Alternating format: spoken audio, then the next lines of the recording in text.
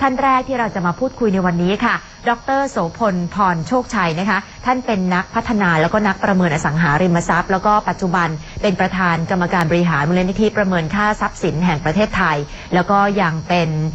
ประธานกรรมการบริหารของบริษัท Agency for Real Estate Affairs หรือว่า ARA EA นะคะตั้งแต่ปี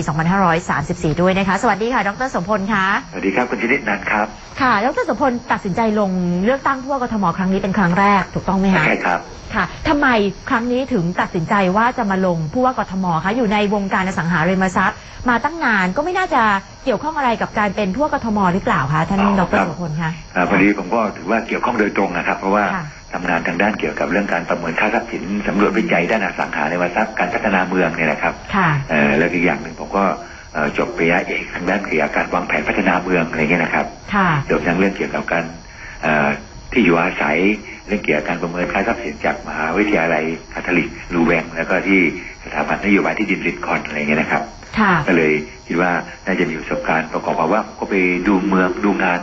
เอ่อค่ะเมืองต่างๆมาทั่วโลกประมาณร้อยสิบเอ็ดเมืองเกี่ยวกับเรื่องอืมที่อยู่อาศัยเรื่องการพัฒนาเมืองอสังหาริมทรัพย์เนี่ยนะครับค่ะก็เลยคิดว่าน่าจะมีประโยชน์เอามาใช้บ้าง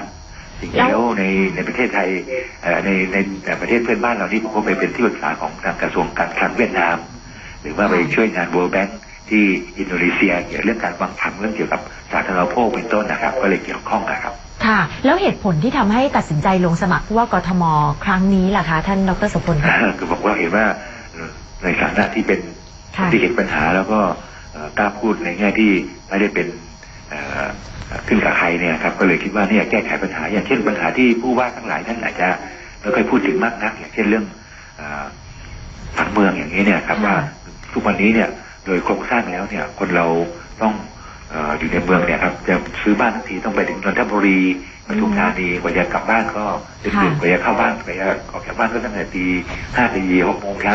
ตีห้าครึ่งอย่างนี้เนี่ยครับค่ะลำบากแล้วพวกต้องขยายไปไม่สิ้นสุด แล้วก็อืมที่สำคัญเนี่ยสิ่งแวดล้อมอ่าไร่นาทั้งหลายเนี่ยก็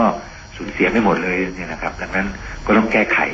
หรือว่าตึกในกรุงเทพเราเห็นไหมครับตึกในกรุงเทพนี่ตึกสูงๆเนี่ยค่ะมีสารเป็นที่จอดรถ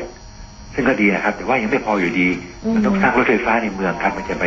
อ่าค่ะสร้างที่จอดรถเยอะหรือสร้างทางด่วนมากมายเนี่ยมันก็ช่วยอะไรไม่ค่อยได้ครับค่ะหรือว่าอย่างเรื่องพวกทางเท้าท่านทราบไหมครับว่าอย่างทางเท้าเนี่ย ที่เขาเช่าโบสถ์ที่เขาแบบว่าแบบมีเอ่อทำเรียกแผงลอยเนี่ยค่าเช่าพอๆกับสยามพารากอนนะครับอ๋อเหรอคะสี่สามสี่พันห้าพันทางเท้าที่ไหนคะเพราะว่าหรือตามหน้าตลาดทั้งหลายเนี่ยครับ เนื่องจากว่าเช่าแพงนะครับ โอ้จริงๆแล้วถ้าเราทำให้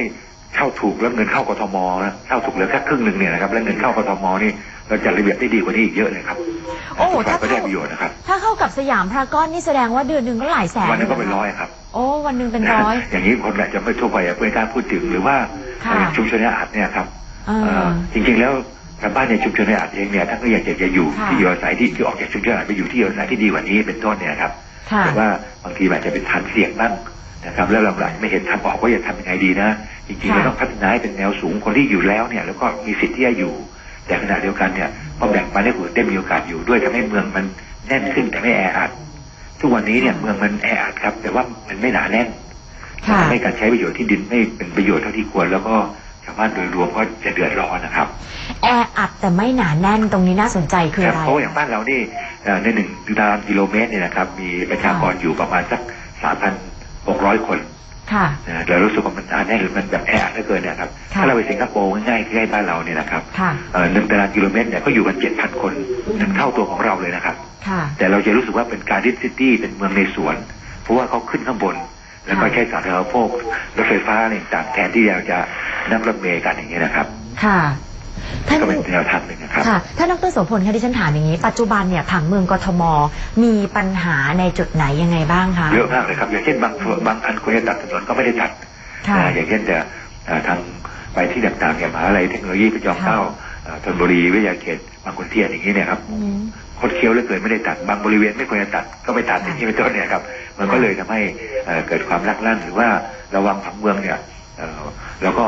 กระจายความเจริญออกไปสู่รอบนอกอย่างบางนาเนี่ยเมื่อก่อนเป็นที่ปลูกข้าวที่ดีกว่าอยุธยาอีกนะครับเดี๋ยวนี้ไม่มีแล้วครับค่ะนะแล้วก็ขยายแผ่ออกไปเรื่อยๆคนก็ต้องเดินทางไม่สิ้นสุดอันนี้ก็สร้างความลำบากแล้วก็เดือดให้จ่ายมากครับค่ะ เพราะฉะนั้นเนี่ยปัญหาต่างๆ เหล่านี้ที่เกี่ยวกับผังเมือง ดรโสพลจะแก้ไขปัญหายังไง ถ้าเข้ามาเป็นผู้ว่ากทม แล้วจะทำได้ง่ายเหรอคะ ดรคะก็ทำให้ได้ครับ อย่างเช่นว่าค่ะในกรณีอย่างนี้เนี่ยเราจะแก้ไขปัญหาปัญหาเฉพาะได้อย่างเดียวเนี่ยก็ควรจะทำนะครับอืมนะแต่ว่าขณะเดียวกันเราต้อง วางผังระยะยาวด้วยเพื่ออนาคตของพวกเราเองในวันนี้ และก็ลูกหลานเราด้วยครับค่ะจะปล่อยไว้อย่างนั้นไม่ได้แต่ถ้าปัญหาเฉพาะหน้าเนี่ยก็ต้องจัดการกันไปเหมือนกันเนี่ยครับอย่างเช่นว่าทุกวันนี้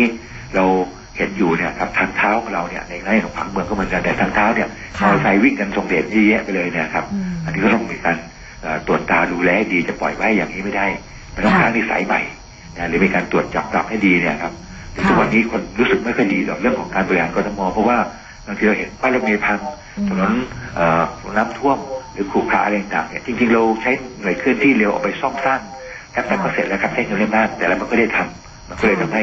ปัญหามันหมักหมมไว้นะครับ ค่ะ แล้วการพัฒนาที่อยู่อาศัยล่ะคะไม่ต้องขยายออกไปอยู่ไกลๆชานเมืองแล้วจะแก้ไขปัญหายังไงอะคะให้อยู่ในเช่นเมืองที่อยู่อาศัยในเมืองเราเนี่ยครับเราค่ะมองออกไปในตึกสูงๆเนี่ยมองลงไปมันลาบไปหมดเลยครับอืมนะฮะอย่างสลัมอย่างนี้เป็นต้นเนี่ยครับมันลาบไปหมดเลยจค่ะริงๆแล้วเนี่ยถ้าเราอ่ายกเป็นอย่างเมื่อก่อนเราเคยทำเหมือนกันจาก สลัมลาบๆเนี่ยเรายกมาเป็นแฟลตดินแดงห้าชั้นสิงคโปร์ก็ทำแบบเราครับตอนนี้เขายี่สิบชั้นยี่สิบชั้นก็ลื้อมาเป็นสี่สิบชั้น เพื่อที่จะให้มันหนาแน่นขึ้นเรื่อยๆเนี่ยครับค่ะแล้วเว้นบริเวณโดยรอบให้มันเป็นสีเขียวเราจะได้ไม่ต้องทำอะไรมากอย่างตอนนี้กทม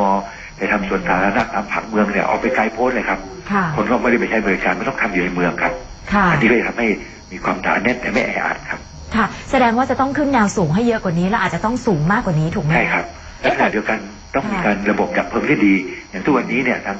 กทมจะบอกว่าโอ้โหเราขึ้นตึกสูงค่ะไม่ได้นะเพราะว่าเดี๋ยวไฟไหม้ดับเพลิงไม่ได้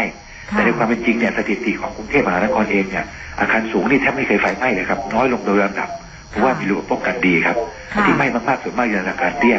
แต่ที่สำคัญเนี่ยที่ควรจะทำก็คือว่า ถ้าเกิดว่าอืมมีโอกาสไปบริหารกทมเนี่ยครับถ้ามีไฟไหม้ขึ้นมามันต้องมีหน่วยเคลื่อนที่เร็วแบบคอมมานโดหรืออะไรเงี้ยนะครับค่ะไม่ปุ๊บวิ่งไปทันทีเลยไม่ใช่ไม่ปุ๊บไปค่ะอะไรก็ไม่รู้งูมังกรหลาอย่างนี้นี่ค่ะ สามารถเสียหายมากเลยครับ ค่ะ เอ๊ะแต่ถ้าเกิดขึ้นสูงมากๆ เนี่ย กรุงเทพอยู่ในพื้นที่ที่เป็นดินอ่อนจะมีปัญหาไหมคะ ดรโสพล ที่สร้างขึ้นมาใบหยกทาวเวอร์เกือบร้อยอ๋อชั้นอะไรต่างๆก็สร้างได้ทั้งนั้นนะครับ ค่ะ มันอยู่ที่ว่าเราจะทำหรือไม่นะครับค่ะ ถ้าทำจริงแล้วตึกใหญ่ๆอย่างนี้เนี่ยถ้าแผ่นดินไหวนี่มันคงแข็งแรงกว่าตึกเตี้ยๆนะครับ ค่ะ แต่ว่าเอาจริง ๆ แล้วเนี่ย ถ้าเกิดเข้ามาเป็นผู้ว่ากทมจริง ๆ แล้วก็ได้แก้ไขปัญหาได้ดูแลเรื่องผังเมืองแบบนี้เนี่ย ปัญหาต่าง ๆ เหล่านี้แล้วก็สิ่งที่ดรโสพลจะทำอยู่ในอำนาจหน้าที่ของผู้ว่ากทม